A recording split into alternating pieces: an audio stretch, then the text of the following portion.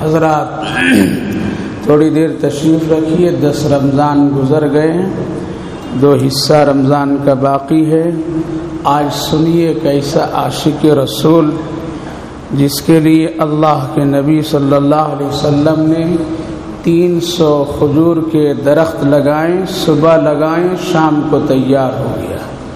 कैसे हुआ, क्यों हुआ, इसके पीछे क्या राज है? उसकी क्या हकीकत है? ईमान की अहमियत को समझिए। अल्लाह आपके बैठने को कबूल फरमाए। अल्हम्दुलिल्लाह रब्बिल आलमीन। वस्सलातु वस्सलामु अला सय्यिदिल अंबिया वल मुरसलीन। व अस्हाबिहि अजमाइन। अम्मा बाद।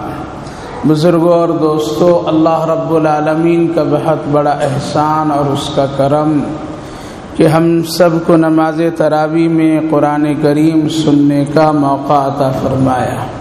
अल्लाह ताला इसी तरह से पूरे रमज़ान हम सबों के लिए तौफीक फरमाए और कबूलियत फरमाए। आज तेरहवा जुज़ मुकम्मल हुआ, उसके साथ साथ चौदहवा जुज़ तीन हिस्सा पढ़ दिया गया है।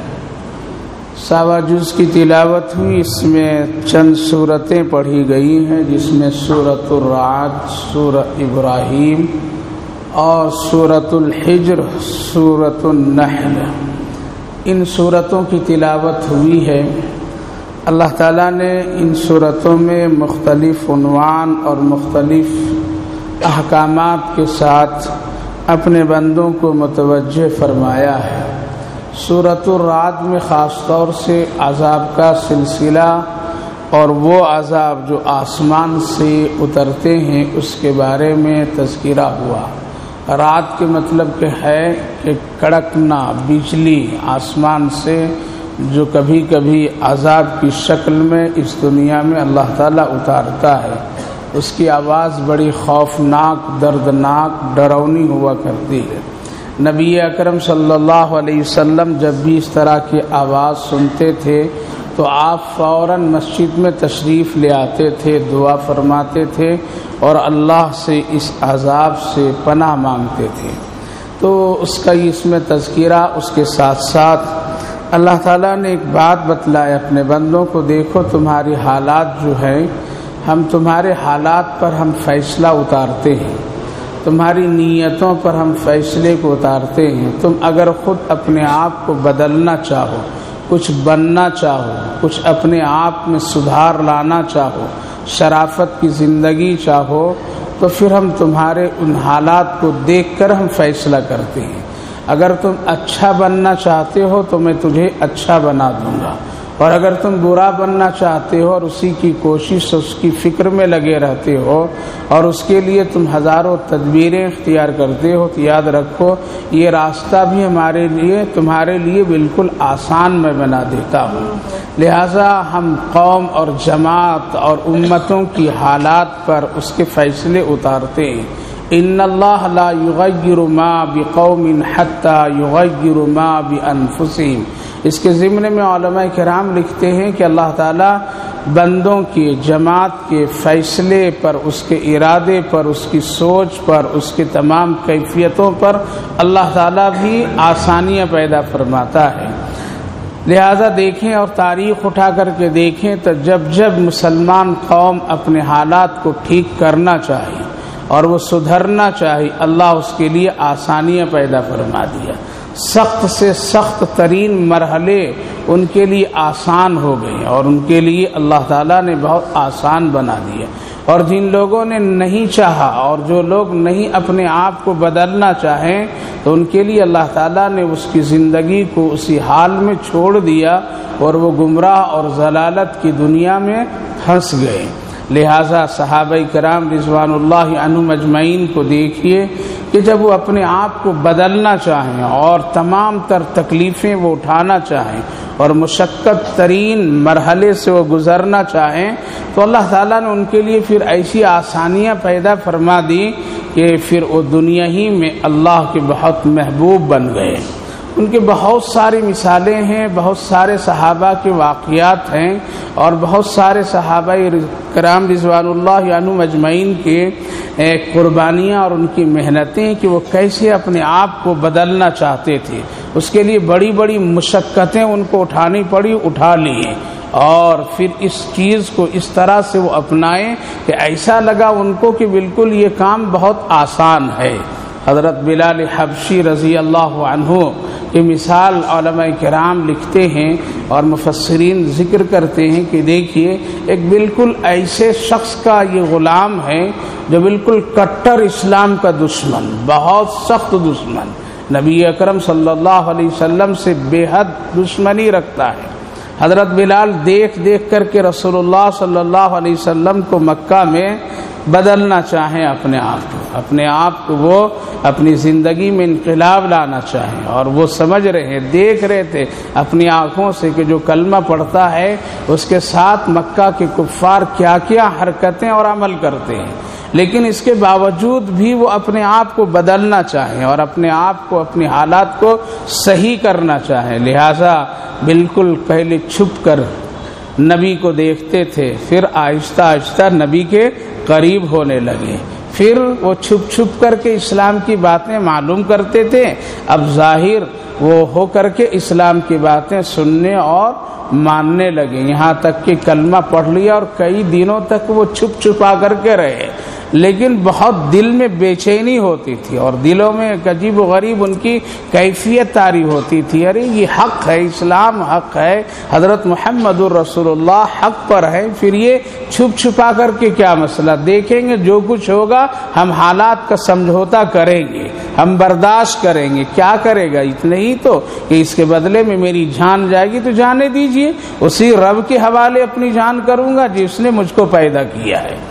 जब ये उनके दिल में ये बात और ये आमादा कर ली और अपने हालात को वो बदलना चाहे तो फिर उन्होंने बरमला ऐलान कर दिया और अपने आका, अपने मालिक के सामने, उमैया बिन खलफ के सामने ऐलान कर दिया, मैं अपने आप को अब कुछ दूसरी तरफ़ जा रहा हूँ और वो हक है इस्लाम की तरफ़। हज़रत मोहम्मद रसोल्ला के कलमा पढ़ लिया हूँ। ये कहना था कि पूरा मक्का टूट पड़ता है।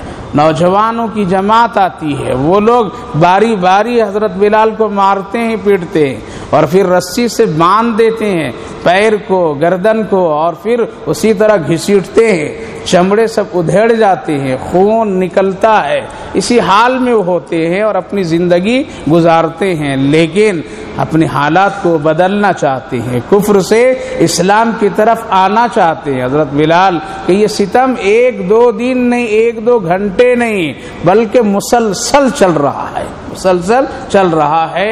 यहाँ तक कि जब लोग थक गए मारने वाले, मरवाने वाले थक गए, मालिक भी थक गया और इस कैफियत में पहुँचा कि अब इसको ना घसीटो, ना इसको मारो, बल्कि अब ऐसा करो, इसको ज़मीन पर लिटा कर इसके सीने पर बड़ा चट्टान रख दो। बस सांस चलते चलते इसी तरह ये मर जाएगा, खत्म हो जाएगा। ऐसा ही लोगों ने किया। सीने पर एक बहुत भारी चट्टान रख दिए इतफाक इंसान है, कमज़ोरी है, फितरत है, जो इस चट्टान यहाँ ऊपर रखा जब गया है तो अचानक ज़बान से अल्लाह की आवाज़ निकली। अल्लाह की आवाज़ निकली, लेकिन ये ज़बान जो निकली तो फ़ौरन दांत से ये ज़बान आधी कट गई। बिल्कुल। इतनी सख्त मरहला है ज़ुबान आधी कट गई, खैर बर्दाश्त कर लिए, खून निकला, सब कुछ हुआ, लेकिन वो अहद अहद अपना करते रहे करते रहे। ये वाक़ बराबर सुनते रहे हैं, लेकिन अब सुनाना है, देखिए, एक कटी हुई ज़ुबान पर अल्लाह कितना बड़ा इनाम और इकराम से नवाजता है। अर्ज़ ये करना है कि पहले हम और आप अपने लिए तहैया और दिल में इरादा करें, हमको बदलना है।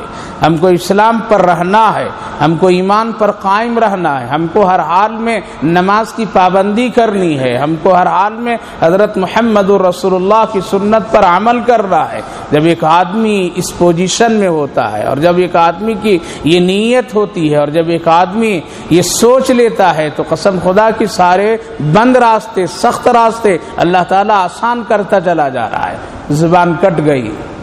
खैर हज़रत बिलाल हफशी रज़ी अल्लाह को आज़ाद हज़रत अबू बकर सिद्दीक करा लिए। गुजर रहे थे एक दिन, जाते जाते हज़रत सैदना सिद्दीक अकबर देखे तो चुटके से जाके कहने लगे, बिलाल, देखो, तुम ज़रा सा एहतियात बरतो और बरमला अहद अहद अल्लाह अल्लाह की नारा मत लगाओ ज़रा। ज़रा सबर से काम लो, हालात बदलने दो, ज़रा माहौल ठीक हो जाने दो, फिर कहना, ये कहना ही है हमको, तुमको। तो हज़रत बिलाल कहने लगे, अबू बकर, अगर कोई और दूसरा कहता तो ज़रा मुझको और कुछ समझ में बात आती। आप कह रहे हैं? सुनिए, मैं आपको बताता हूँ, जब ये बात होती है और जब तकलीफ़ लोग मुझको देते हैं तो मेरा रब मेरे दिल में कहता है, बिलाल, तुम किस हाल में हो? तो जब ये बात मेरे दिल में पैदा होती है तो मैं समझता हूँ, मेरा अल्लाह मुझसे इस हाल में खुश है और मैं अल्लाह को खुश रखना चाहता हूँ। हज़रत अबू बकर सिद्दीक ने उनसे बात की, उमैया बिन खलफ, आज़ाद कर दो, इसको दे दो मेरे हाथ में, मैं मुँह मांगी, कीमत दे करके लेना चाहता हूँ। कहा कि हाँ ठीक है, दीजिए, क्या कीमत इसकी होगी? कहा कि, जो तुम तय कर दो। उमैया बिन खलफ ने दस गुना बढ़ा करके दिया। कीमत लगाया। हज़रत अबू बकर सिद्दीक बिल्कुल तैयार हो गए, ठीक है। तो हुमैया बिन खलफ कहने लगा, अबू बकर तो बड़ा सच्चा और ईमानदार और बड़े अच्छे और बड़े माहिर ताजिर, लेकिन एक ऐसा गुलाम जो हमको सता दिया है, अगर तुम फ्री माँगता, मैं तुझको फ्री दे देता, लेकिन तू इतना दुगुने तिगुने कीमत दे करके मुझसे ले रहा है, कैसा तू बेवकूफ़ है? हज़रत सैदना सिद्दीक अकबर कहने लगे, तू बेवकूफ़ है, तुझको क्या पता है इस काले कलोटे की कीमत? तुझे क्या खबर है बिलाल की क्या कीमत है?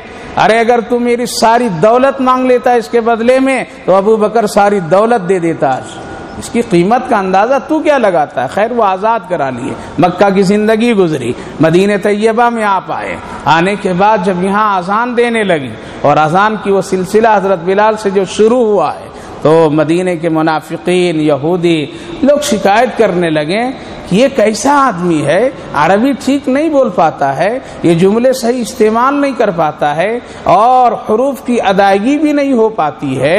ए, ए उमर अगर किसी को आजान देना है किसी से तो किसी अच्छे आदमी से दिलाओ जो अरबी नस्ल हो जो मदीने के बाशिंदा हो।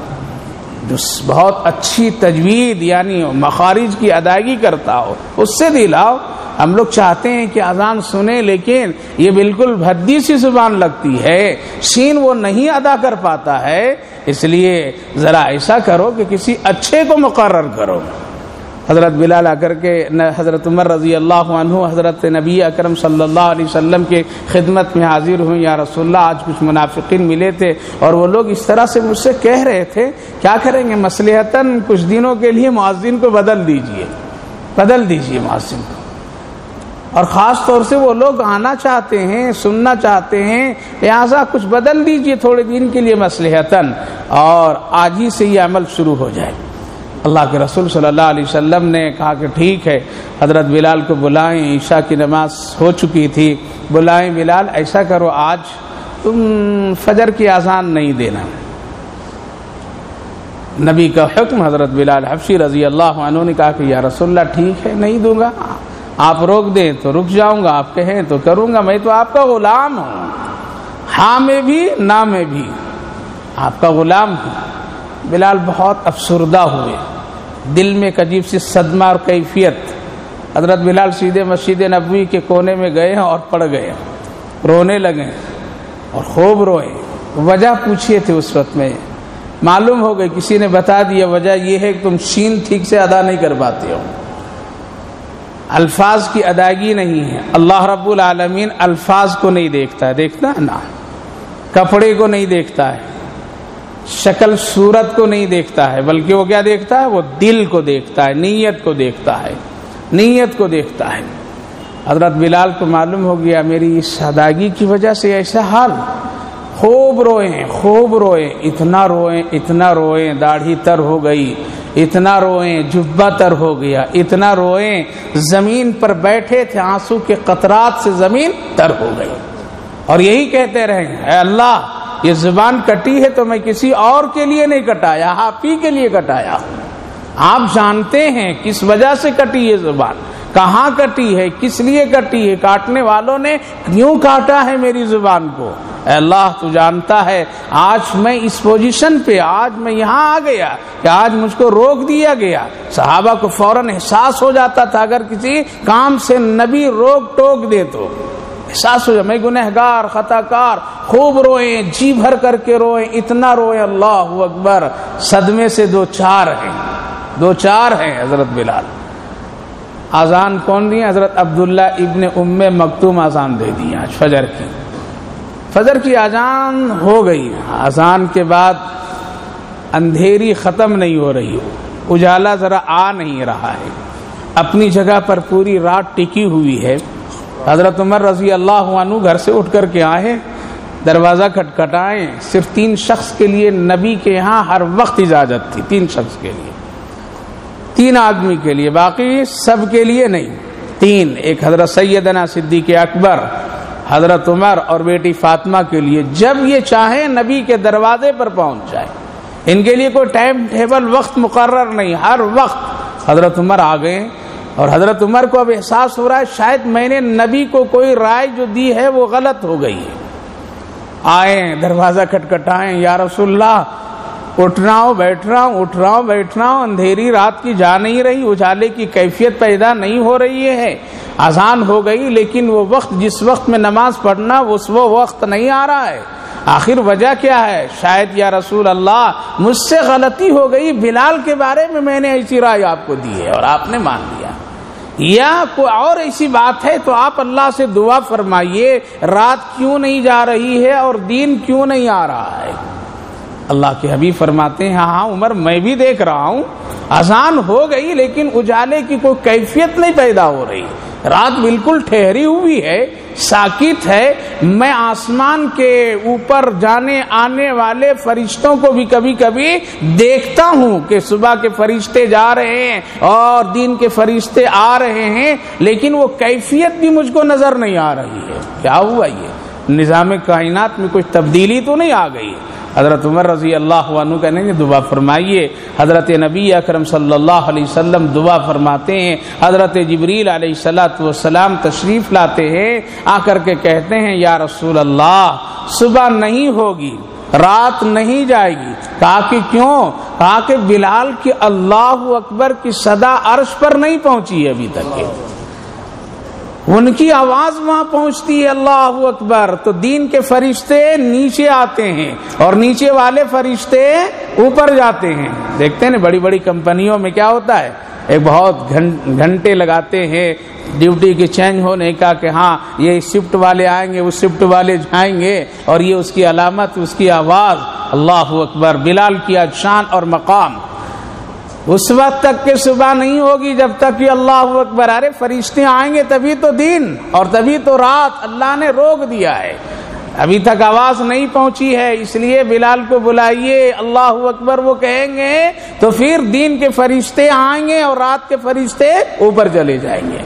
निज़ाम अपनी जगह हो जाएगा। अल्लाह अकबर, नबी को एहसास हुआ। मैंने जो रोका है बिलाल को, वो इसका ये हाल और क्यों नहीं होता? बिलाल को किसी शौक में तो नहीं मार खाए थे।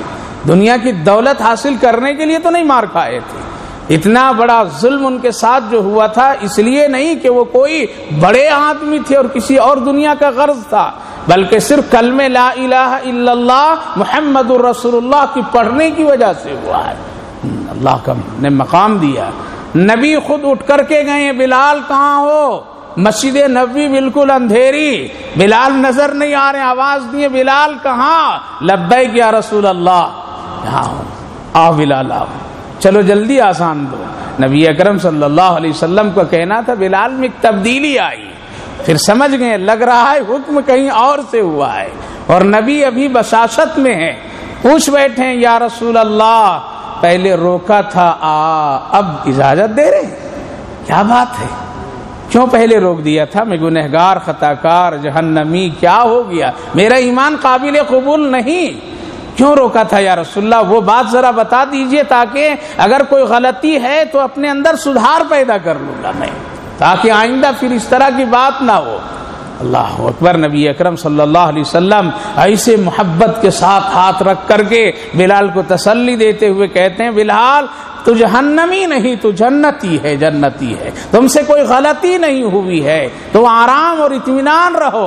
अय बिलाल, तू जन्नती है और सबसे पहले तू जन्नत में जाएगा। नबी के ज़ुबान मुबारक से ये जुमला निकलना था। बिलाल में एक और तब्दीली आई। तो पूछ बैठे, सबसे पहले अबू बकर से भी पहले जाऊँगा। नंबर वन में अबू बकर है ना तो पूछ बैठे, आगे मोहब्बत में जब बात हो तो कर लो, ले लो जो कुछ लेना है। ले लो कुछ लेना। आज अब्बा खुश है, ले लो। अम्मी खुश है, ले लो। भाई खुश है, ले लो। आज मौका है।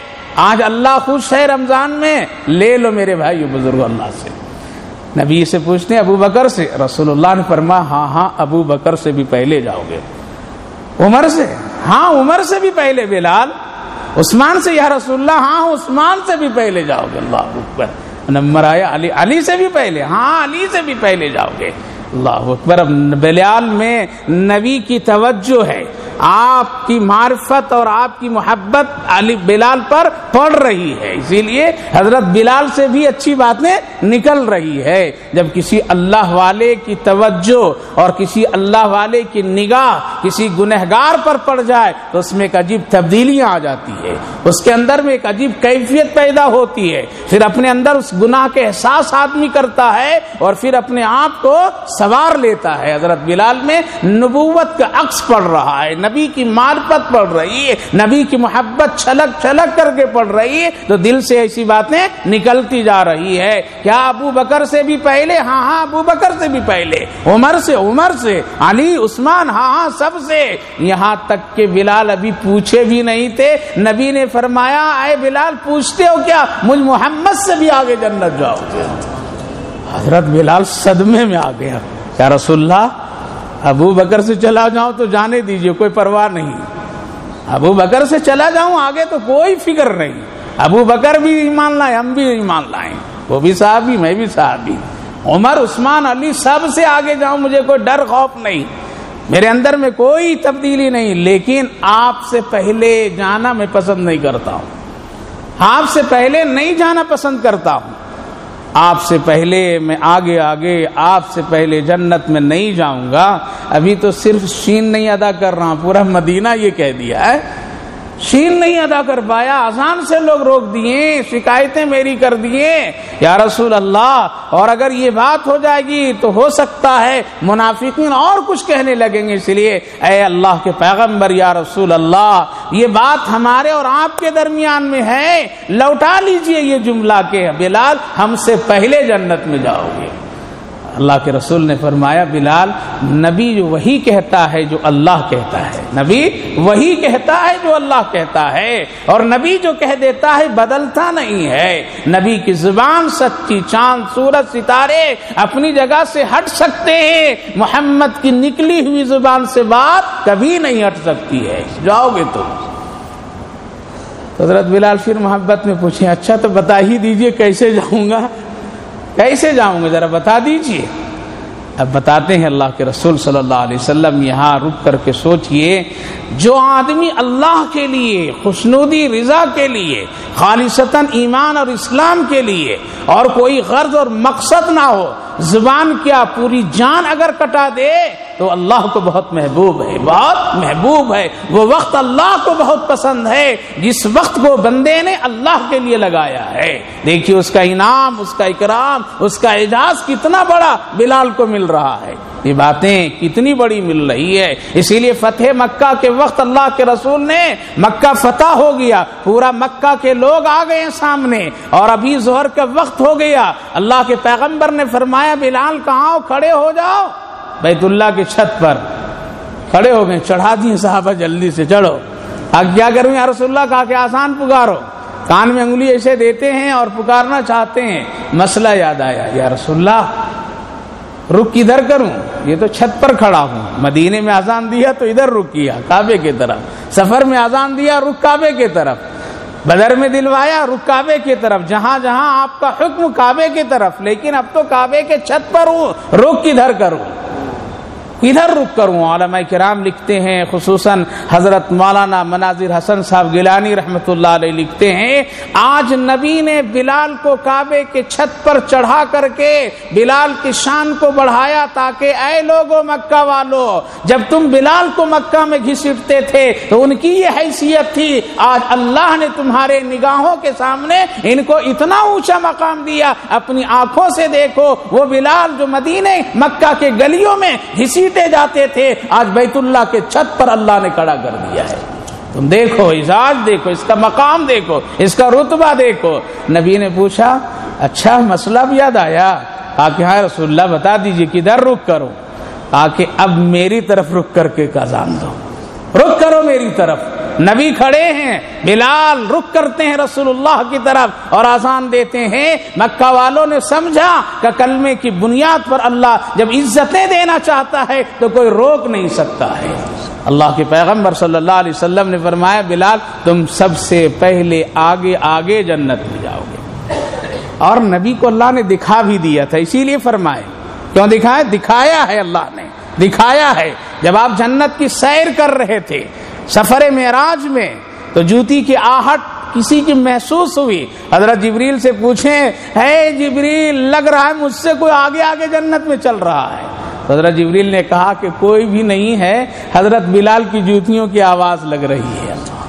नबी कुछ भी नहीं पूछे वहाँ पर। वापसी जब हुई है तो अल्लाह के रसूल ने पूछा है बिलाल तेरे मकाम तो ये है कि है, मैं जन्नत में चल रहा था तो तेरी जूती की आवाज़ चलने की आगे आगे महसूस हुई।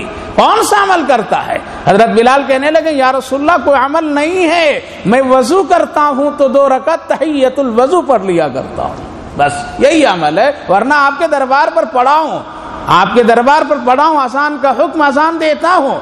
इसीलिए मकाम हज़रत बिलाल का कि अजान में, फजर की अजान में एक जुमला उसमें दाखिल करवा दिए रसूलुल्लाह। जब अजान दे करके फारिग होते थे और फिर जब जाते थे नबी के दरवाजे पर और आवाज़ देते थे तो यूँ कहते थे असला तो खैरो मीना क्या है तर्जुमा? नींद? हाँ तर्जुमा। कुछ लोग तो इसका उल्टा तर्जुमा कर दिए। क्या कर दिए? नींद बेहतर है नमाज़ से, तभी तो करवट लेके सो गए हैं उन लोगों ने तर्जुमा समझा नहीं, इसलिए कहा गया मोहसिन तो गलत तर्जुमा कर रहा है। नींद बेहतर है नमाज़ से, इसलिए किरवट बदल करके सो गया। और जिन लोगों ने इसका तर्जुमा किया कि नमाज़ बेहतर है नींद से तो वो उठ करके आ गए, वो उठ करके आ गए। ये जुमला किसका है? ये हज़रत बिला ये हज़रत बिलाल का है। नबी के दरवाजे पर जाते थे और कहते थे सला तो खैर मदीने के गलियों में जाते थे, सदा लगाते थे तो सला तो खैर लोग उठ कर के आते थे। नबी ने पूछा, बिलाल, ये प्यारा सा जुमला कहाँ से तुमने लाया? या रसुल्ला दिल में एक बात आई, इसीलिए मैं ये सदा अजान के बाद लगा देता हूँ। नबी ने फरमाया, अब इसको अजान में दाखिल कर लो। भाई दुनिया की किसी की ताकत ये फजर की नजान से इस जुमले को निकाल दे, अगर एक दिन मुआजिन भूल भी गया तो बस सुबह ही उसकी डांट शुरू हो जाएगी, है? क्या अजान भी ठीक सा नहीं दिया तुमने? हालाँकि बेचारा भूल गया है, लेकिन डांट शुरू हो जाए, क्यों? इतना भी मुसलमान नहीं बर्दाश्त कर सकते हैं। इससे ना निकाला जाएगा और ना इस अजान में और कोई चीज़ दाखिल की जाएगी। तो मेरे भाई बुजुर्गो, ये हज़रत बिलाल का मकाम। नबी फरमाते हैं, बिलाल, तुम उससे भी आगे आगे जन्नत में जाओगे। हज़रत बिलाल कहते हैं, बदल दीजिए बात को, या रसूल अल्लाह अल्लाह के पैगंबर फरमाते हैं, नहीं नहीं, जो ज़ुबान से बात निकल गई, वो सच्ची जाएँगे। कैसे जाएँगे? कहा कि बिलाल, ऐसा होगा, जन्नत की जिस सवारी पर मैं सवार होऊँगा, जन्नत की जिस सवारी पर मैं सवार हूँगा उस सवारी का लगाम तेरे हाथ में होगा तो गुलाम बन करके आगे जाएगा, मैं आका बन करके आगे जाऊँगा। न तेरी इज़्ज़त में कोई फ़र्क, न मेरी इज़्ज़त में कोई फ़र्क है। और इस तरह दोनों जन्नत में जाएँगे। इसलिए मेरे साथ मेरी सवारी का लगाम लगाम तेरे हाथ में होगा और तू गुलाम बन करके जाएगा। मैं आका बन बन करके जाऊँगा और मेरे पीछे सिद्दीक होंगे, उमर होंगे, उस्मान होंगे, अली होंगे और तू गुलाम बन करके आगे जाएगा। तेरी गुलामी को अल्लाह ने यहाँ भी पसंद किया है और तेरी गुलामी को वहाँ भी पसंद किया है।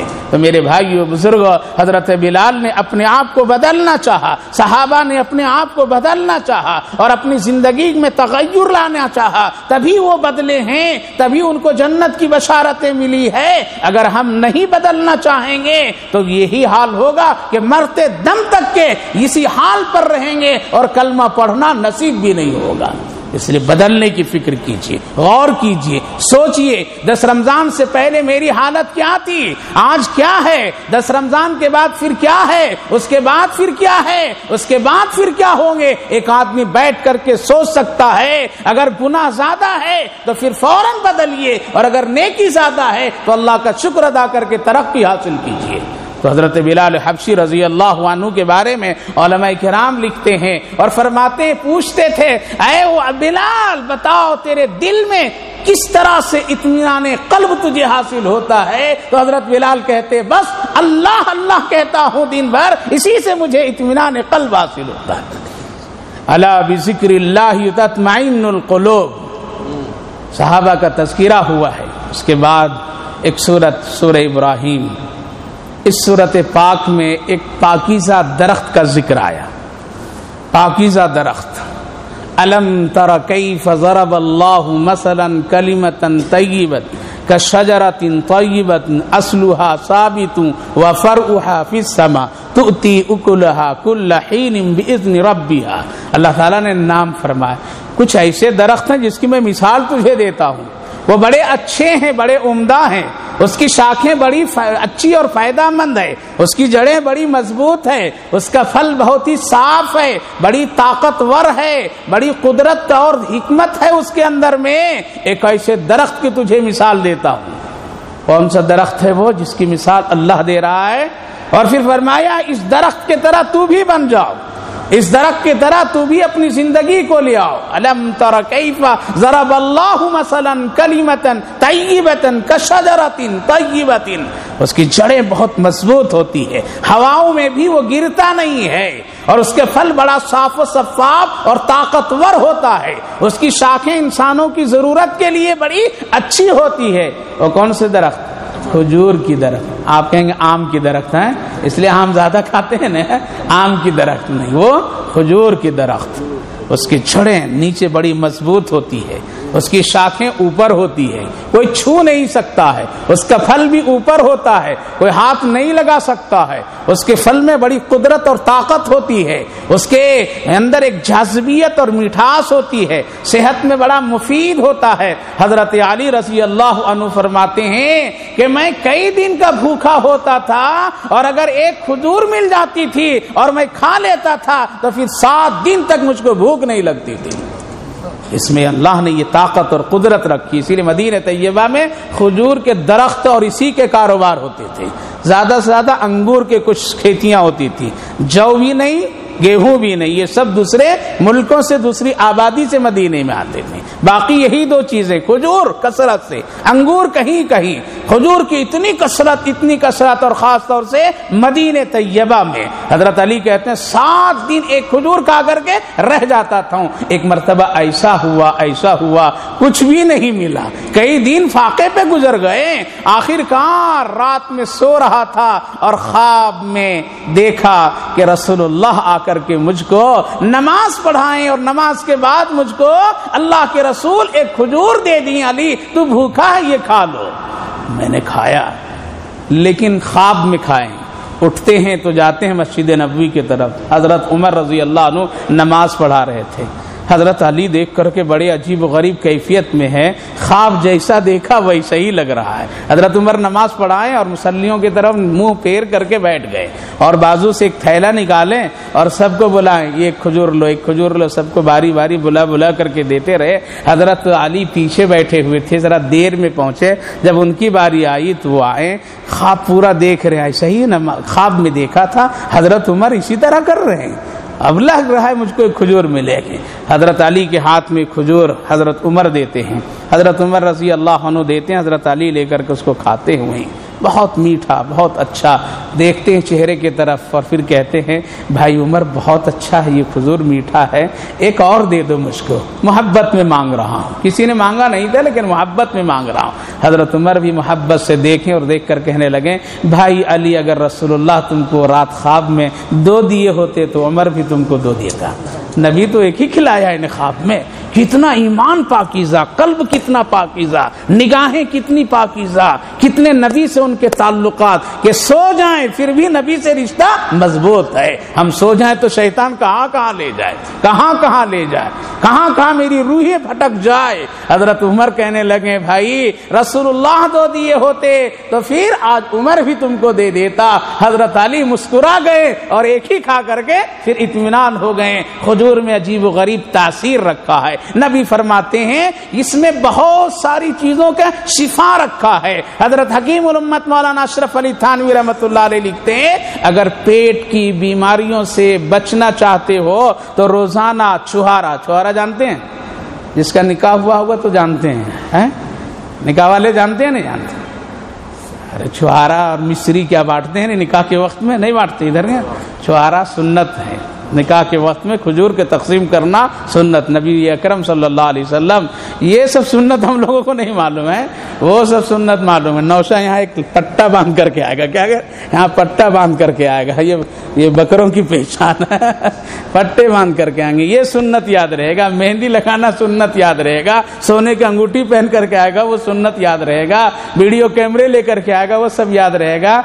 निकाह के बाद खजूर को तकसीम करना रसूलुल्लाह सल्लल्लाहु अलैहि वसल्लम की सुन्नत में से है। आप इस तरह से मस्जिद में अगर निकाह पढ़ा देते थे, खजूर दोनों हाथ से लेते थे और इस तरह से फेंक देते थे, सहाबा बड़ी खुशी से लेते थे। नबी एक खुशी देना चाहते थे, क्यों? निकाह का एक मौका खुशी का हो तो एक खुशी हासिल हो, इसीलिए नबी फेंकते थे, सहाबा ऊपर से लेते थे और एक दूसरे से मोहब्बत पैदा फरमाते थे, इसीलिए वो छुहारा, सूखा हुआ खजूर, रात में डाल दो पानी में और वो पानी को ढक करके रख दो।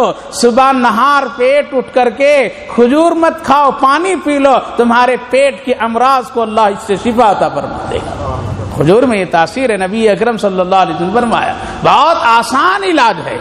बहुत आसान इलाज है, करना चाहे बहुत आसान है, दो खजूर डालिए, सूखा हुआ डालिए और उसको धो करके डालिए साफ़ पानी में और सुबह नहार पेट उठ करके पी लीजिए, पेट के अमराज को ठीक करेगा, जहन में ताजगी पैदा करेगा निगाहों में बसारत और उसमें रोशनी को बढ़ाएगा। ये सब है रसूलुल्लाह की फरमान, नहार पेट पीना। हमने कहा कि ना, ये सब नहीं पियेंगे, हम तो ये पियेंगे। अजीब गरीब ज़िंदगी हो गई है। उठते साथ नहार पेट, ये पियेंगे, तंबाकू खाएँगे क्या क्या खाएँगे? अल्लाह हिफाजत फरमाए, तब बीमारी होगी या नहीं होगी? होगी या नहीं होगी? आदमी परेशान होगा या नहीं होगा। नहार पेट पी रहा है। अल्लाह के पैगंबर के सुन्नतों पर अमल करो। और आपने फरमाया, शहद महीने के तीन दिन, पहली, दूसरी, तीसरी तारीख में शहादत की अंगुली से चाट लिया करो। जो बीमारियाँ पैदा होने वाली होगी, अल्लाह इसकी बरकत से तुझे शिफा अता फरमा देगा। ये सब है कुरान के करीम में एक सूरत। आज ही पढ़ी गई सूरत नहल, शहद की सूरत, उसकी भी फजीलत है। तो खजूर बहुत ही उम्दा चीज़ है बहुत उम्दा चीज़ है। नबी अकरम सल्लल्लाहु अलैहि वसल्लम खुद बागबानी फरमाते थे, बागों में जाया आया करते थे और सैर करते थे। वक्त ज़रूरत पर आप उसकी मिट्टी को भी हटाते थे। वक्त ज़रूरत पर आप उसके छत, शाखों को तोड़ करके उसकी छतें भी बनवाते थे। और मस्जिद नबी की जब बुनियाद रखी गई तो सबसे पहले खजूर ही को इस्तेमाल किया गया, कोई और दरख्त नहीं। किसका इस्तेमाल हुआ, खजूर के पत्तों से छतें बनी और खजूर के शाखों से क्या हुआ, दीवारें बनी और यहाँ तक के मेंबर रसूल भी खजूर के तना से बनाया गया। नबी अकरम सल्लल्लाहु अलैहि वसल्लम खुतबा उसी पर सहारा और टेक लगा करके देते थे, लेकिन जब हज़रत उस्मान ने सीढ़ी बना करके पेश कर दिए तो हज़रत नबी अकरम वसल्लम ने उस तना को हटवा दिया था और जुमा में जब आप सीढ़ी पर कदम रखे हैं और करीब में वो तना खजूर का रखा हुआ था तो चीख चीख करके रोने की आवाज़ आई। ऐसे जैसे कोई बच्चा बिलक बिलक करके रो रहा है। नबी सीढ़ी से उतर गए, उसको उठाए, सहाबा फरमाते हैं, नबी इस तरह से उससे प्यार कर रहे थे जैसे कोई माँ अपने बच्चे से प्यार कर रहा हो। और तसल्ली दे रहे थे, तुम रो नहीं, तुम रो नहीं। तुम रो नहीं। अल्लाह अकबर। खजूर का तना कहता था, मैं कितना खुश नसीब था। आप टेक लगाते थे, आपका सहारा में बनता था, आप खुतबा देते थे, ये सीढ़ी आ गई, अब मुझको कौन सहारा देगा? अब मैं पता नहीं कहाँ फेंक दिए जाऊँगा, अब पता नहीं मैं आग के हवाले हो जाऊँगा। अल्लाह अकबर। कल का तना खजूर का सुखा हुआ भी मोहम्मद रसूलुल्लाह से ऐसी मोहब्बत का इजहार करता था। अब दिल और जान रखने वाला भी मुसलमान ऐसा इजहार नहीं रखता है। इसको एहसास ही नहीं है। नबी का दीन, सीरियत, सुन्नत छोड़ करके हम कहाँ जाएँगे? पता नहीं कहीं आग के हवाले नहीं हो जाए। खुजूर का तना कहता है, या रसुल्ला इसलिए रो रहा हूँ। अब लोग मुझको फेंक देंगे, मुझको आग के हवाले कर देंगे, मुझको टुकड़े टुकड़े कर देंगे। पता नहीं मेरा क्या हसर बनाएँगे। या रसुल्ला मैं खुश नसीब था कि आप हमको टेक में इस्तेमाल करते थे। अल्लाह के रसूल तसली दिया नहीं, अब तुमको अपने से जुदा नहीं करूँगा। हुक्म दिया, इसी मेंबर, इसी सीढ़ी के नीचे इसको दफन कर दो। अल्लाह अकबर। आज भी वो जगह पर वो दफन है। दफन है। निस्बत बहुत बड़ी चीज़ है। तो खजूर के तरख्त और उसके फल और उसकी पतियों का तस्करा अल्लाह ने क्या किया है? कुरान करीम में ज़िक्र फरमाया है और ईमान से उसका मिसाल दिया है। अल्लाह के पैगंबर इसीलिए तीन सौ खजूर के दरख्त कहा? मदीन तैयबा में लगाए। कैसे लगाए? एक सहाबी थे, हज़रत सलमान फारसी रज़ी अल्लाह फारस के रहने वाले थे। आग के उनके ख़ानदान में पूजा पाठ चलता था। उसी की इबादत वो लोग करते थे। ईसाईयत में वो लोग फंसे हुए थे। बाप सब कुछ ये करता था। बेटा आहिस्ता आहिस्ता ईमान की तरफ़ निकलता है। वो किसी तरह से तौरात पढ़ा, जबूर पढ़ा और देखा कि आखिरी एक नबी जो हैं वो हिजरत करके मदीना आएँगे और उनकी ये कैफियत होगी, उनके अखलाक होंगे। उनको देखना है मुझको और ईमान लाना है। कुछ तोशा लिए और फारस से निकले। खत्म हो गया, बकरियाँ चराने लगे। फिर कुछ जमा किए, फिर आगे निकले। खत्म हो गया, फिर ऊँट चराने लगे। गुलामी गुलामी करते करते मदीना पहुँच गए। मदीना भी पहुँचे तो एक यहूदी का गुलाम बन गए। मदीने में है रसोल्ला वसल्लम।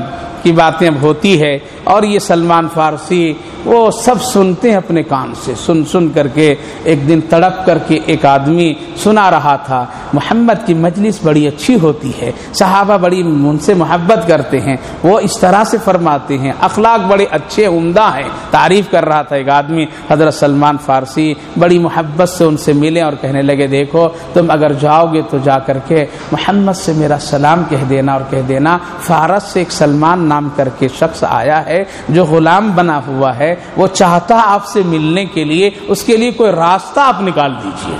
अल्लाह के पैगंबर को ये बात पहुँची थी। अल्लाह के रसूल ने फरमाया अय उमर जाओ तहकीक करो, किसके पास है ये? कौन है इसका मालिक? हज़रत उमर गए, तलाश किए, एक यहूदी, इनके मालिक, सलमान फारसी से मुलाकात, खुशी, उसके बाद पूछे, इसको आज़ाद कर दो? आके आज़ाद कर दूँगा, लेकिन मेरी एक शर्त है। उस शर्त के मुताबिक आज़ादी होगी। आके बोलो ताकि शर्त यह कि ज़मीन मेरी होगी और उस ज़मीन पर मोहम्मद 300 खजूर के दरख्त लगा दे। और 40 ओकिया चांदी या बाज रिवायतों में सोना मुझको दे दे। ये दो चीज़ मिलेगी, तब हम उनको आज़ाद करेंगे। और तीसरी जो शर्त ये है कि वो खजूर के दरख्त जो मोहम्मद लगाएँगे, जब खजूरें तैयार होगी और उसमें खजूरें निकलेगी, वो पकेगी, हम अपनी आँखों से देख लेंगे, तब आज़ाद करेंगे। अल्लाह ईमान की कीमत का अंदाज़ा लगाओ मेरे दोस्तों।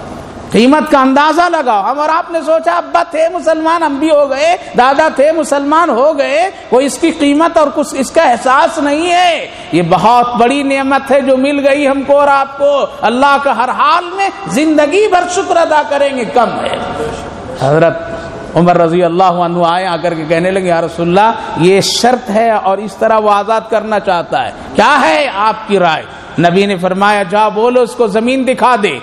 बताओ, उसको ज़मीन मुकर्र कर दे। मोहम्मद इसके लिए तैयार है। और आपने ऐलान फरमाया मस्जिद नबी में, एक आदमी को ईमान में लाने के लिए आज चंदे की ज़रूरत है। पता चला, चंदा नबी के दौरी से हो रहा आज कोई नया काम नहीं है?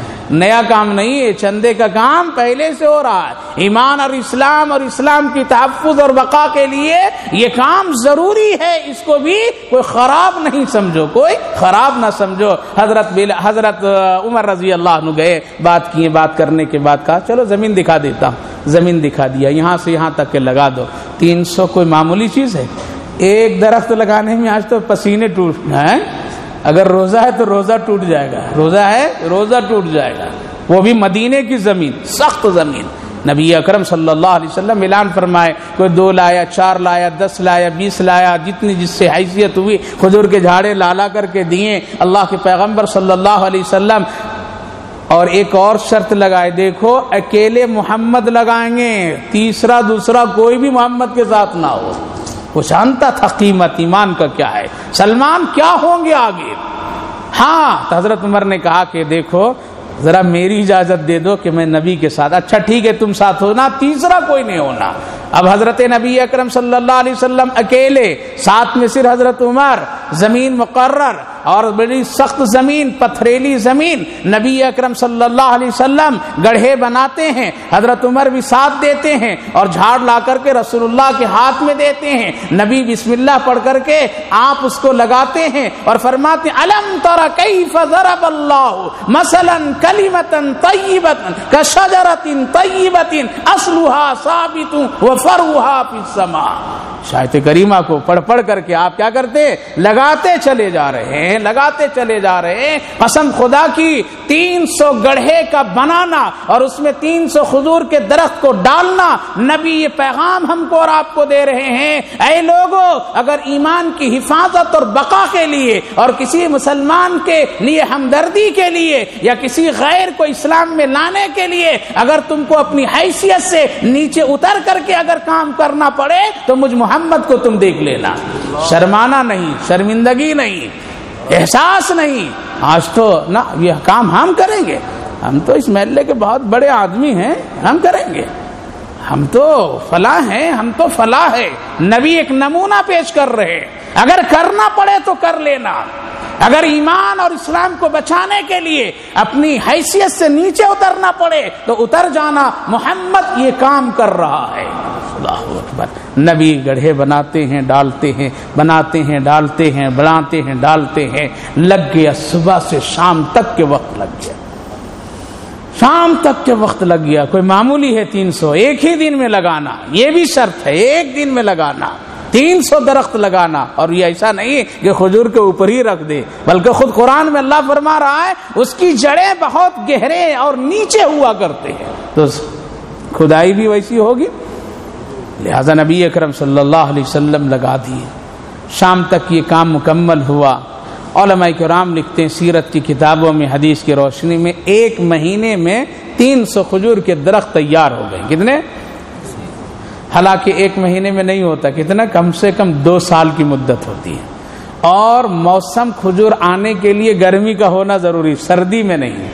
सर्द मौसम में खजूरें नहीं आती है, नहीं पकती है। बल्कि कब आती हैं? सर्दी में अगर फूल निकलेंगे आखिरी मौसम में तो वो गर्मी में पूरे पूरे शबाब पर होंगे। और जब जितनी तेज धूप उसमें लगेगी, उतना ही खुजूर पकेगी। हज़रत अली कहते मुझको भूख लगी थी, नबी पकड़ करके उहद के तरफ़ ले गए। और कहने लगे, अली, क्या हाल है? कहा कि भूख लगी है या रसूल अल्लाह कहा कि देखो, ये दरख्त खजूर सामने जो नज़र आ रहा है, सख्त सर्दी का जमाना था। या रसूल अल्लाह ये खजूर तो बिल्कुल बरसों से फल नहीं दे रहा है। सूखा खड़ा है ये। और ये सर्दी का जमाना है, खजूरें इसमें कहा है? अल्लाह के पैगंबर ने फरमा ली जाओ, उसको पकड़ करके कहना मोहम्मद रसुल्लाह तुझे खजूरें मांग रहे हैं हज़रत अली सीधे गए और जाकर के हिलाए। हिलाए तो पक पक करके खजूरे टप टप ज़मीन पर गिरने लगी। उठाते हैं अल्लाह के पैगंबर हज़रत अली चादर में भरते हैं। हज़रत अबू हुरैरा भी दौड़े हुए आते हैं। वो भी लेते हैं। नबी के खिदमत में दोनों हाजिर होते हैं। अल्लाह के रसूल फरमाते हैं, जी भर करके खाओ और ए अबू हुरैरा, लाओ तेरी कमर में कुछ खजूरे, मैं बाँध देता हूँ। जब तुझे भूख लगे, इसी से निकाल निकाल करके खुद भी खाना, दूसरों को भी खिलाना। हज़रत अबू हुरेरा कहते हैं कितना नबी बांधा होगा है? एक कपड़े चादर लिए और लेकर के उसमें बाँध करके, जैसे जैसे पहले ज़माने में लोग यहाँ रखते थे, आज भी कुछ खाने पीने की चीज़ें नहीं, पैसे यहाँ रखते हैं। जैसे हज में जाओ, उम्रे में जाओ तो पट्टे में क्या करते हैं, सब रखते हैं ऐसा? मेरे आका ने मेरी कमर में बाँध दिया चंद खजूरे। मैं खाता था, खिलाता जाता था। सालों का अरसा गुजर गया, दो साल का अरसा गुजर गया। अल्लाह अकबर, कभी उसमें कोई कमी नहीं आई। और मैं निकालता था, भूखों लोगों को देता था, खुद भी खाता था। एक दिन एहसास हुआ कि देखे, कितने खजूरें इसमें बाकी है। मैं खोलता हूँ उस गिरे को तो सारी खजूरें गायब हो गई। नबी के खिदमत में हाजिर हुआ, या रसूल अल्लाह ये कैफियत हुई? आका ने फरमाया, अबू हुरैरा, अगर तू खोल करके देखता नहीं तो पूरी ज़िंदगी तू खाता रहता, कभी खत्म नहीं होती ये खजूरें। बड़ी बरकत की चीज़ है। इफ्तार किससे होता अब? समोसे से समोसे से आश से, खजूर से करो, पानी से करो। क्या करो? खजूर से करो, पानी से करो। ये बरकत का फल है, बरकत की चीज़ है, जिसका तस्करा अल्लाह ने कुरान में किया है। नबी अकरम सल्लल्लाहु अलैहि वसल्लम लगाते हैं, एक महीने में सारे तैयार हो जाते हैं। दूसरी एक रिवायत है कि सुबह लगाए, शाम को तैयार हो गए। सुबह लगाए, शाम को तैयार हो गए। पूरे खजूरे कैसे तैयार हो गए सुबह? एक महीने में चलिए तैयार हो गए हदीस के मुताबिक मार्खीन कराम के मुताबिक खुसन हज़रत मौलाना इदरी साहब कांदली रहमत अपनी मशहूर और मरूफ मारिकतुल आरा किताब सीरतुलमस्तफ़ा में लिखती है। लिहाजा नबी ने कहा, उमर, चलो जरा जाओ देख करके आओ, तैयार हो गई या नहीं? लग रहा है तैयार हो गई, अगर तैयार हो गई तो उसको बुला लो और बुला करके उसको दिखा दो, बाग उसके हवाले करो, सलमान को बुला करके ले आओ। हज़रत उमर गए जा करके देखते हैं तो पूरा बाग हरा भरा है, पूरे बाग बिल्कुल शानदार है, हर दरख्त में खजूरें पकी पकी तैयार है, बड़े मसरूर और खुश हुए और फ़ौरन हज़रत उमर रज़ी अल्लाह यहूदी के पास गए, चलो चलो, देख लो, तैयार हो, कहा, तैयार? इतने जल्दी महीना हुआ है तैयार। अरे मदीने में खजूरों की तादाद और उसके बढ़ने की कैफियत के लिए दो साल का होना ज़रूरी है। अभी हो गया। खैर, वो भी समझता था, लगाने वाला मोहम्मद रसोल्ला है। चलो देख लेते हैं। आया, आकर के देखता है, आँखें फाड़ फाड़ करके शुमार करता है, नंबर लगाता, एक, दो, तीन, गिनते गिनते पहुँचता है। एक ऐसी जगह पर कि खजूर तो तैयार है, दरख्त तो तैयार है, लेकिन उसमें खजूरें नहीं आई थी। उसमें खजूरें नहीं आई थी। यहूदी कहने लगा, उमर देखो, दो सौ निन्यानवे बिल्कुल ठीक है। बिल्कुल? Okay, correct. लेकिन ये एक तो है तैयार, लेकिन इसमें खजूरें नहीं आई है। और शर्त यह है कि 300 बिल्कुल पूरी हो। लिहाजा जब तक इसमें खजूरें नहीं पकेगी, नहीं निकलेगी, उस वक्त तक के हम सलमान को नहीं देंगे और बात आगे नहीं बढ़ेगी। हज़रत उमर, वो उमर, अल्लाह अकबर, जो काम फ़ौरन कर दिया है। गए थे ना दो? लोग गए थे। कहा से आए हो? यहूदी ने कहा कि आए उमर, मरकज से आ रहा हूँ। फैसला हो गया वहाँ पर, और मेरे हक में हुआ है। और ये कहता है कि नहीं, नबी का फैसला मुझको नहीं, बल्कि हमको उमर का फैसला चाहिए। लिहाजा मैं आया फैसला आप कीजिए। तो हज़रत उमर बोले अच्छा मरकज से, यानी मोहम्मद रसोल्ला के पास से आया कहा कि हाँ वहाँ से आया हूँ। फैसला मेरे हक में अल्लाह के रसूल ने कर दिया हम तस्लीम करते हैं। लेकिन ये नहीं माना और कहा कि हम उमर से फैसला करवाएँगे। वो जानता था कि शायद उमर यहूदियों से बहुत चिढ़ते हैं, बहुत सख्त उनके दिलों में जगह रखते हैं, इसलिए अब मेरे हक में फैसला करेंगे, लेकिन उमर उमर है। कहा कि अच्छा बैठ जाओ अंदर गए। लाए चाय पानी, है? तलवार लाए और खत, खत्म। खत्म करना था, अल्लाह अकबर।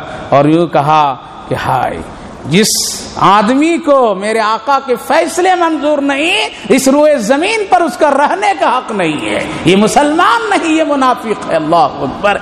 एक फैसला एक आदमी इनकार करता है, उमर क्या करते हैं? उसकी गर्दन उड़ा देते हैं। हाय हाय, आज अगर उमर होते तो हमारी तेरी गर्दन सलामत नहीं होती।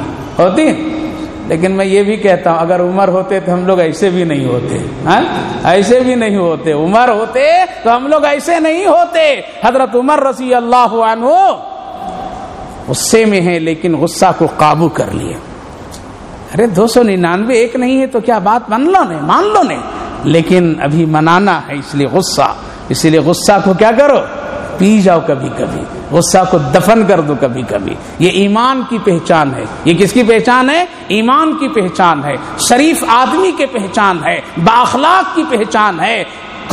जबूर में बयान किया गया था, सच्चा मुसलमान वो होगा जो अपने गुस्से को पी जाता होगा। लिहाजा यहूदी हज़रत इमाम अबू हनीफा रहमत की खिदमत में आया। मालूम किया, ये कब सोते हैं? कब सोते हैं?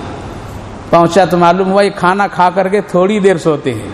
टाइम टेबल मालूम कर लिया। हज़रत अबू हनीफा रहमत ऊपर सोते थे, मकान उनका। सीढ़ी से ऊपर चढ़ करके गए हुजरे में आराम करने के लिए, बिल्कुल खाना खा करके। और कैलुल्ला का वक्त, वो बहुत उम्दा वक्त। ओलमा के लिए, बुज़ुर्गों के लिए, लिहाजा एक शख्स सीढ़ी से चढ़ा। अभी हज़रत इमाम अबू हनीफा सीधे भी नहीं हुए थे, खटखटाया। बाहर निकले। कौन कहा कि एक मसला मालूम करना, इसलिए आया हूँ। कहा कि पूछो। पूछो, बड़ा मसला, छोटा मसला पूछो। कहा कि मैं सीढ़ी पर जब था, तब तो मसला याद था, यहाँ आया, भूल गया। तो हज़रत इमाम अबू हनीफा कहने लगा अच्छा जाओ, याद आ जाएगा, तब आ जाना। फिर गए, लेटे थे, फिर ऊपर चढ़ा। कहा कि, दरवाज़ा खोला। मसला याद आ गया? कहा कि हाँ याद आ गया, लेकिन आधा याद आया, आधा भूल गया फिर मैं। तो हज़रत इमाम अबू हनीफा रहमत फिर फरमाया अच्छा जब पूरा याद आ जाएगा, तब आना। फिर गए सोने के लिए। अभी फिर सीधे हुए नहीं थे, फिर वो आया। ऊपर आया। ऊपर आया और आकर के कहा कि हाँ हाँ याद तो आया, लेकिन एक हिस्सा भी बाकी है, वो नहीं याद आ रहा है। तो हज़रत बाबू नीफा हनीफा मैं अच्छा बेटे, जब याद आ जाए, तब आ जाना। हम और आप होते क्या करते हैं? अब तो कंडीशन ओलमा का लग गया है ना? नहीं, हमसे नहीं मिलेंगे? नहीं मिलेंगे। हमसे नहीं पूछेंगे। हमारा ये वक्त, हमारे टाइम टेबल हमारी ये है, वो है। हाँ ख्याल रखना चाहिए रखना चाहिए। लेकिन अगर कभी कोई ऐसा मौका आ जाए तो इतनी तुम अपनी हैसियत को ना बढ़ा दो उस गरीब के सामने कि फिर दोबारा तेरे कदमों पे न जाए आदमी। इतना ना हो जाओ। हज़रत इमाम अबू हनीफा रहमत बोले, बेटा, जब याद आ जाएगा तो आ जाना। अभी फिर सीधे हुए थे, नीचे से फिर ऊपर आया कटकट आया हज़रत इमाम, बाहर आइए, मसला पूरा याद आ गया। हज़रत इमाम अबू हनीफा खोलते हैं दरवाज़ा, खोलते हैं, पूछो बेटा, क्या मसला? का मसला अब याद आया मुझे? बतलाइए, पाखाना मीठा होता है या नमकीन होता है? अल्लाह वक्त का इमाम, इतना सताया, ऊपर नीचे किया, सोने नहीं दिया, और फिर मसला क्या पूछ रहा है? हम और आप क्या होते पाखाने में धकल देते हैं कम वक्त मसला भी पूछता है, हमसे ऐसा मसला पूछता है। वक्त का इमाम और ऐसा मसला। हज़रत इमाम अबू हनीफा मुस्कुराते हैं और मुस्कुरा करके फरमाते हैं, बेटा, वो मीठा होता है। कि अच्छा क्या आपने कभी चक्कर के देखा है? देखिए, दूसरा जवाब कितना खतरनाक। कितना खतरनाक। क्या होता? गुस्सा उबलता। मार पीट हो जाती, उसको धक्के दिए जाते, शागिर्दों को बुलाते, उसके हवाले कर देते, मुझे तकलीफ़ पहुँचाया, मुझको इसने सताया है, मसला भी ऐसा पूछा जो कुरान हदीस में कहीं भी नहीं है इसका तस्करा लेकिन हज़रत इमाम अबू हनीफा बहुत मुस्कुरा करके फरमाते, बेटा, वो मीठा होता है। तो उसने पूछा, कैसे आपको मालूम? तो आपने फरमाया, उस पर मक्खियाँ लगती है, मक्खी मीठी चीज़ पर लगती है। जाओ, देखना है तो देख लो। हज़रत इमाम अबू हनीफा का ये मुस्कुराना था। वो आदमी कहा, इमाम अबू हनीफा, हाथ बढ़ाइए। मैं तो कल में ला इलाहा पढ़ने के लिए आया था। मैंने तौरेत में पढ़ा, जबूर, इंजील का मुताला किया, तुम्हारी पूरी दीन और शरीयत का जायजा लिया। उसमें एक खूबी मुसलमानों में मैं तलाश कर रहा था कि मुसलमान शरीफ और अच्छा बाखलाक वो है जो कभी गुस्सा नहीं होता है। दूसरे पर ये तलाश करके आया था तेरे पास कि देखें वो खूबी तेरे में है या नहीं है। मैंने मुकम्मल ये खूबी पाया। न मुझको पाखाने की ज़िक्र है, न उसकी तलाश है, न मैं मसला मालूम करना चाह रहा था, देख रहा था, गुस्से से दिला करके तुमको मैं किस हाल में पाता हूँ? लिहाजा ईमान लाए। आज तो नमक जरा सा बढ़ जाए तो तीन तलाक और फिर जब बीवी याद आ जाए तो हज़रत से पूछे, हज़रत, तीन तलाक दे दिया। क्या है मसला? कैसे दिया? नहीं नहीं, नींद में दे दिया। नहीं नहीं, ऐसा दिया तो और बहुत सारे मौलवी मिले हैं। ऐसे मसले बता देते हैं, फिर कहते हैं अच्छा तो ये बताओ, ता से दिया था या तो से दिया था? ये बड़े कारी है, बड़े कारी हैं। तलाक तो से दिया था या ते से दिया था, ता से दिया था, ऐसे मसले। अच्छा एक दिया था या दो दिया था, तीन दिया था, बीबी सामने थी या दूर में थी? अल्लाह अकबर, नमक में तेज़ी में गुस्सा है, दरवाज़ा ना खुले तो गुस्सा, बात बात में गुस्सा, न जाने क्या कैफियत, इसीलिए गुस्से को दबाना चाहिए। हज़रत हज़रत उमर रज़ी अल्लाह गुस्से को थाम लिए। ठीक है, जा रहा हूँ रसूलुल्लाह के पास। जाकर के पूछता हूँ, क्या हाक, हाल है?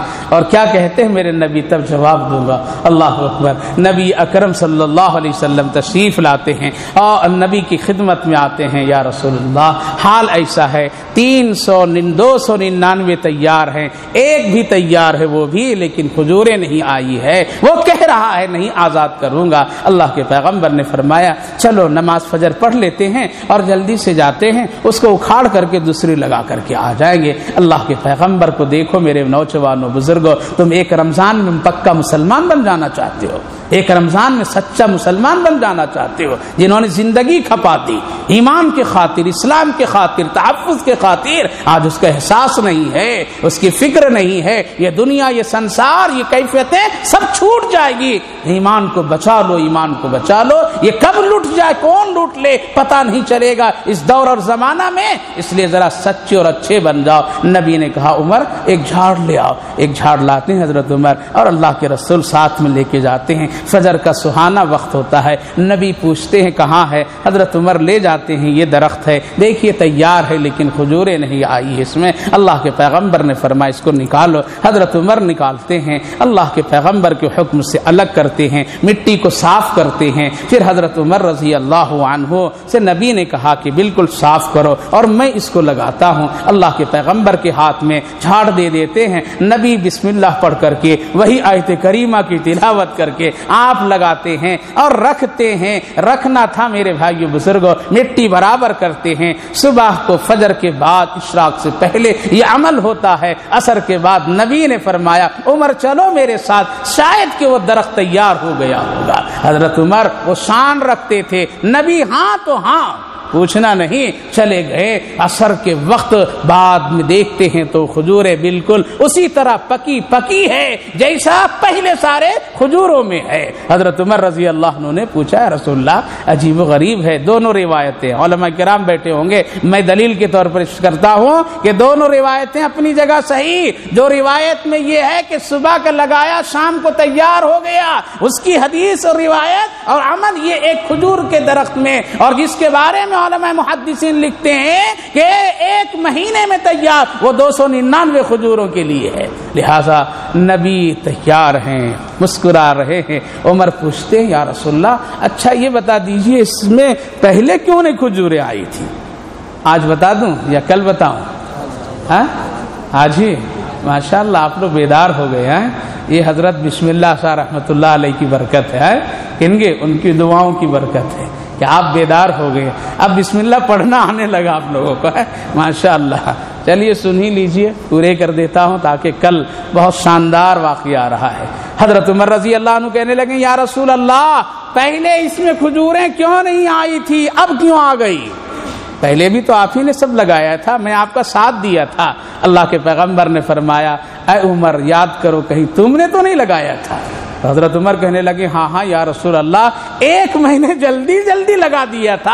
आप थक गए थे, काम बढ़ रहा था, गुरूब सूरज हो रहा था। या रसूल अल्लाह हाँ हाँ जल्दी मैंने एक लगाया। हाँ हाँ वही है दरख्त जिसको मैंने लगाया था। बात तो हो गई ख़त्म किस्सा, लेकिन हज़रत उमर की आगे जो परेशानी शुरू हुई, वो सुनिए। कहने लगे, या रसुल्ला अगर मैं एक लगा दिया था तो अल्लाह ने दो सौ निन्यानवे को तैयार कर दिया। मेरे एक लगाए, में क्यों नहीं तैयार कर दिया? क्या मेरा ईमान काबिल कबूल नहीं? अल्लाह ने हमारे अमल को पसंद नहीं किया। क्या मैं गुनहगार, जहन्नमी? या रसुल्ला क्या रोने लगे नबी के सामने गिर गिड़गिड़ाने लगे नबी के सामने? अल्लाह के पैगंबर ने फरमाया, उमर, रो नहीं। अल्लाह तुमसे खुश है। तेरा ईमान भी काबिल कबूल है। अरे उमर, रो नहीं। तेरी जन्नत तो मैं देख करके आया हूँ। रो नहीं। या रसोल्ला फिर क्यों नहीं?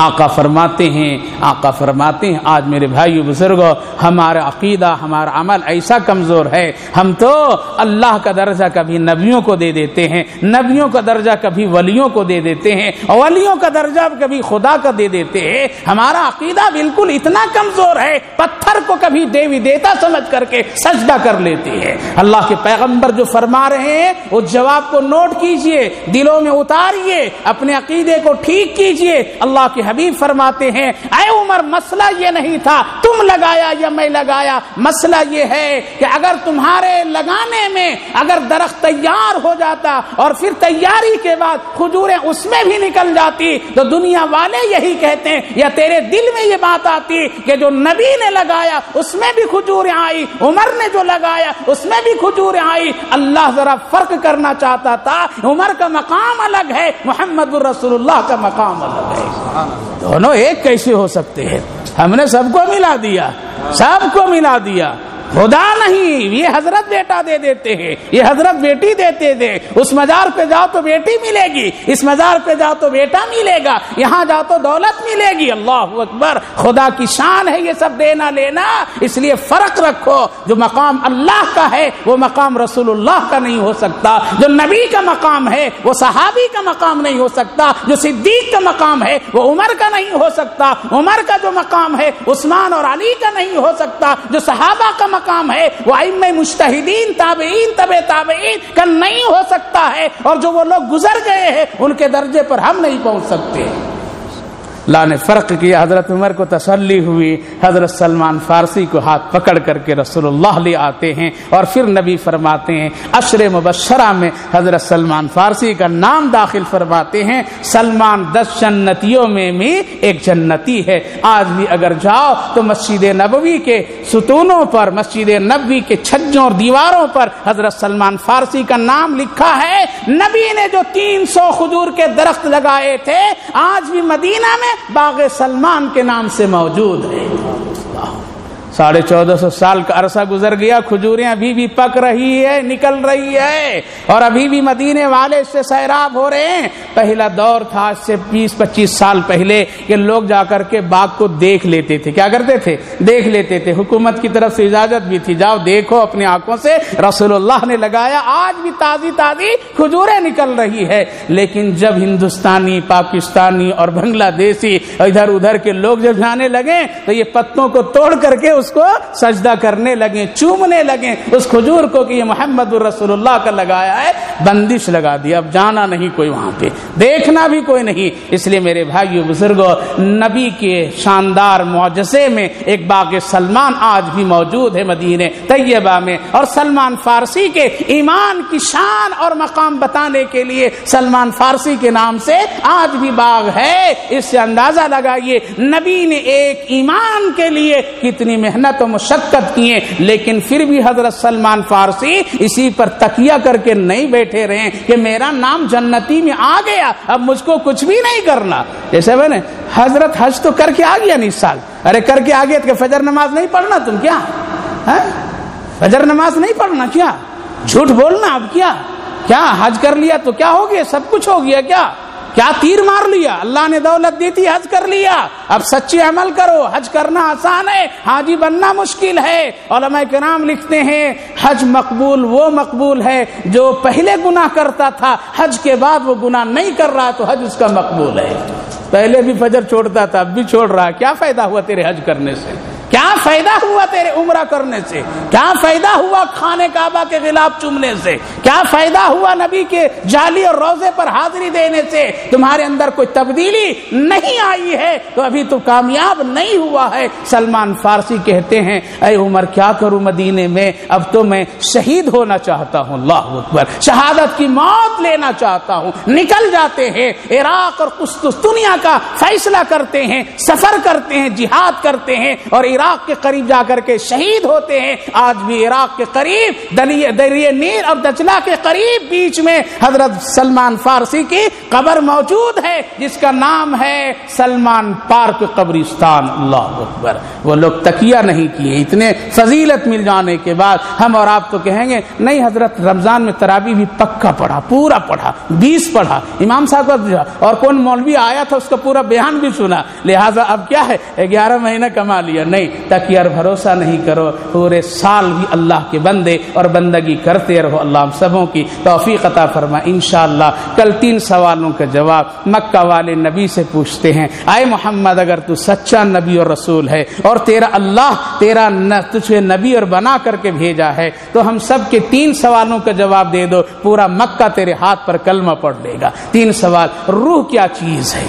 रूह क्या चीज़ है? असहाब कहफ कौन लोग थे? उनकी तादाद क्या थी? सूर्य कहफ के बारे में। और फिर जुलकरनैन नामी बादशाह कौन था? उसकी हुकूमत कहाँ से कहाँ थी? उसके बारे में पूरी तफसील बता दीजिए। हम सब तेरे हाथ पर ईमान लाएँगे। नबी ने फरमाया, जाओ, कल आना मैं तीनों सवालों का जवाब दे दूँगा। अब सुनिए कल, तीन दिन के एक दिन गुजरने के बाद नहीं, बल्कि पंद्रह दिन तक रसूलुल्लाह जवाब नहीं दे सके। पूरा मक्का उमड़ पड़ा नबी के खिलाफ, और नबी तड़पते थे, और गारे हिरा पर चढ़ करके कहते थे, ए कहाँ है? आओ, अल्लाह की तरफ़ से वही लेकर के सुनिए, पंद्रह दिन के बाद वही क्या आती है? रूह क्या चीज़ है? असहाब कहफ कौन है? सूर्य कहफ की फजीलत, और जुलकरनैन बादशाह कौन है? सुनिए उसके साथ साथ चंद ज़रूरी और मसाइल इन उम्मीद है आप सुनेंगे। अल्लाह सबों को जजा खैर अता फरम सैदिना नबीना, हबीबना, मौलाना